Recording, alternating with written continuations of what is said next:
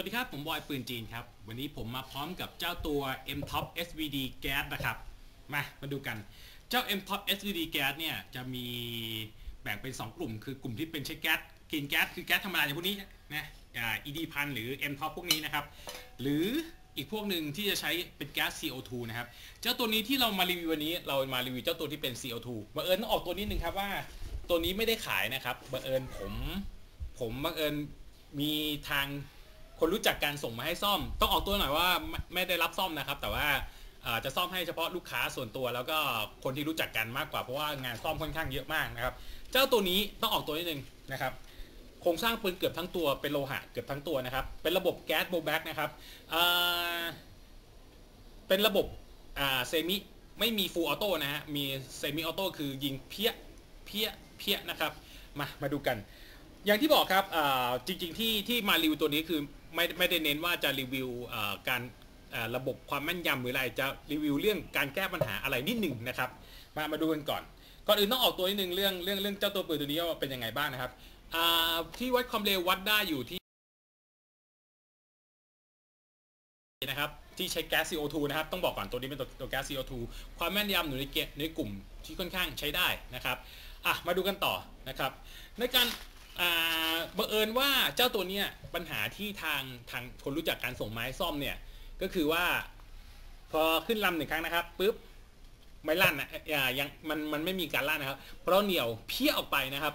พอเหนียวเพี้ยออกไปปุ๊บมันก็จะโบแบกปกติ เพี้ยแชะนะ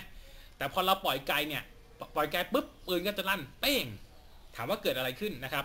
มาดูมาดูในภาพประกอบ จริง ๆ แล้วส่วนเจ้าปัญหาตัวนี้มันจะอยู่ที่อุปกรณ์ ถ้าถ้าถ้าใครมีแปลนเจ้าตัวนี้อยู่นะ มันจะอยู่ชื่อ XVD ขีด G 1 2 2นะครับ Primary s e a ตัวนี้นะครับ Primary s e a ถ้าใครมีคู่มือเปิดเปิดดูจะเห็นอยู่นะครับ เจ้า Primary s e a เนี่ยมันจะมี Primary กับ Secondary s e a นะครับ ดูภาพประกอบที่ที่อธิบายนะครับ คือเมื่อมีการขึ้นลำหนึ่งครั้งนะครับ ขณะที่เราไม่เหนี่ยวไกเนี่ยขึ้นลำหนึ่งครั้ง เจ้า bolt เนี่ยถอยมานะครับจะง้าง hammer นะครับง้าง hammer ลงมา เมื่อ hammer ง้างลงมาเนี่ยมันก็จะเกี่ยวกับ primary s e a ตัวล่างก็จะขัดไว้นะครับ อย่างนี้นะครับปึ๊บพอเราทำการลั่นไกนะครับสะพานไกเนี่ยมันจะดันเจ้า primary s e a ให้กดลงนะครับhammer ก็ตีตีกลับไปที่วาล์ววาล์วแก๊สนะครับพอตีไปที่วาล์วแก๊สเนี่ยแฮมอ่าแก๊สจะพุ่งออกไปด้านหน้าและถอยหลัง ดันให้ดันดันให้ชุด bolt ถอยหลัง และง้าง hammer ออกมา คราวนี้ชุดที่ง้าง hammer ออกมาเนี่ย เจ้า secondary s e a มันจะเกี่ยวกับ hammer ไว้ก่อนนะครับ เพราะว่านิ้วเรากดอยู่ใช่ไหมเจ้า secondary s e a จะจะงับจะงับแฮมจะงับ hammer ไว้นะครับ พอเราปล่อยไกปุ๊บเนี่ย จริง ๆ แล้วถูกสิ่งที่ถูกต้องคือ primary s e a เจ้าตัวเนี่ยจะต้องยกขึ้นมายกขึ้นมาค้ำกับ hammer ไว้ ไม่ให้มันลั่นนะครับ ไม่ให้มันลั่น กับกลายเป็นว่าพอเราปล่อยไกปุ๊บเกิดอะไรขึ้น hammer สับซะงั้นฉะนั้นหมายถึงอะไรหมายถึงว่า เจ้าตัวต้องมีการสึกหรอหรือมีอะไรมีปัญหาระหว่างเจ้าตัวแฮมเมอร์กับ primary s e a นะครับตรงจุดตรงจุดปลาย primary s e a เพราะว่าจากการทดสอบเจ้าตัวเนี้ยคือเหมือนกับว่าเจ้าตัว primary s e a ยกขึ้นมายกขึ้นมาไม่ทันเจ้า hammer ผมก็เลยนั่งนั่งงมอยู่พักหนึ่งจนจนเอ๊ะมันเกิดอะไรขึ้นเกิดอะไรขึ้น ก็เลยมานั่งมานั่งจับจุดได้ว่าเจ้า primary s e a เนี่ยยกขึ้นมาไม่ทัน ยกขึ้นมาไม่ทัน hammer เพราะ hammer มันวิ่งไปก่อน นะครับดังนั้นวิธีแก้ที่ผมเจอคือผมตะไบให้เจ้าตัว primary s e a สั้นลงประมาณ 0.2 มิลนะครับ 0.2 มิลนะครับ ไม่ใช่ 2 มิลนะครับ คืออีกนิดนึงอะครับ สั้นลงไปอีกนิดนึงนะครับ พอลองประกอบกลับขึ้นมาเนี่ย กลายเป็นว่าเมื่อมันสั้นลงเนี่ย ช่วงจังหวะมันยกขึ้น มัน มัน มันมีจังหวะที่ยกขึ้นได้ไวกว่านะครับปุ๊บ ขณะที่ hammer มันจะง้างเลยไปแล้วแหละ แต่ว่าพอมันสั้นลงปุ๊บเจ้า primary sear ก็สามารถงับ hammer ได้นะครับ จาก การทดสอบก็คือก็จะเป็นอย่างนี้โดยส่วนตัวแล้วปืนที่ออกมาจากโรงงานน่ะจะไม่จะจะไม่เจอปัญหา จะเจอปัญหาเมื่อใช้งานไปสักพักหนึ่งนะครับพอใช้งานสักพักหนึ่งมันมันมันก็จะมีการสึกหรอนิดหน่อยนะครับคราวนี้แหละมันมันก็จะไม่ล็อกนะครับใครเจอปัญหาอย่างนี้ถ้าถ้าลองแก้ตามคลิปผมแล้วไม่ได้ถ้าไม่ได้จริง ๆ มาคุยกันเดี๋ยวผมทำให้นะครับ โอเคคลิปนี้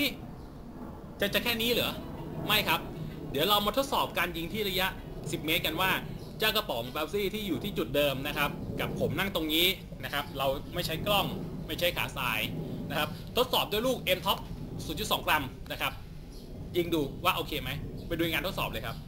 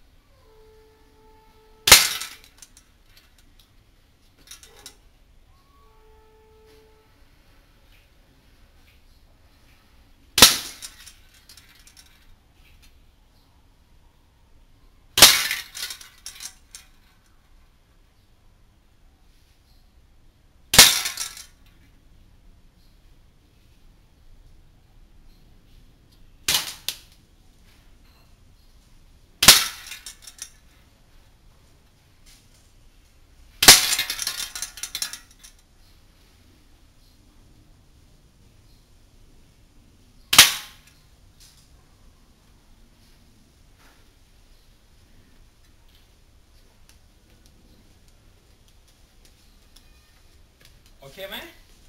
นี่ยิงกล้องไม่มีนะครับ แล้วก็ซัดกันเต็มๆเลยนะครับ เออบังเอิญที่ยิงได้อย่างเงี้ยเพราะใส่เสื้อชมรีแอร์ซอฟเห็นไหมเสื้อเขาดีอะมันทำให้เรายิงแม่นขึ้น อย่าไปเชื่อผมนะ ลองดูเองล้วกัน โอเคไหมกับการทดสอบอย่างที่บอกครับว่าเจ้าตัว M Top เนี่ย ไม่ธรรมดา ในการทดสอบเราใช้แค่ลูก 0.2 กรัมนะครับ ที่ระยะ 10 เมตร เป้าขนาดกระป๋องเป๊ปซี่ไม่น่าพลาด ต้องออกตัวนี้นึงว่าตัวนี้เออบังเอิญบังเอิญมันไม่ใช่ของผมไง เขา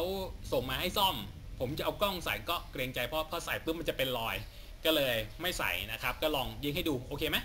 ระดับนี้ลองหาดูครับราคาเจ้าตัวนี้ก็ค่อนข้างเอาเรื่องอยู่เหมือนกัน แต่ว่าเทียบกับประสิทธิภาพอย่างนี้โอเคไหมราคาน่าจะอยู่ประมาณ 8,000 กว่า 9,000 ประมาณนี้นะถ้าจำไม่ผิดนะครับ ลองหาดูเจ้า M Top ตัวนี้นะครับ มือ 2 ก็เลยมีคนปล่อยทิ้งแล้ว ลองหาดูนะครับ บอกเลยว่าตัวเนี้ยน่าสะสมนะครับ ความแม่นยำผมว่าเป็นเป็นไม่น่าเชื่อว่าเจ้าตัวนี้ทำงานด้วยแก๊สโบแบ็กด้วย ถีบปากปากปากแต่ว่า เออเฮ้ยผิดคาดว่าทำไมมันยิงได้ขนาดนี้ โอเคนะ คลิปนี้สั้นๆ ก็ลองดูแล้วกันใครเจอปัญหา แก้ไม่ได้จริง ๆ ค่อยมานะครับลองทำตามดูก่อนนะครับ โอเคสำหรับคลิปนี้สั้นๆนะครับ สวัสดีครับ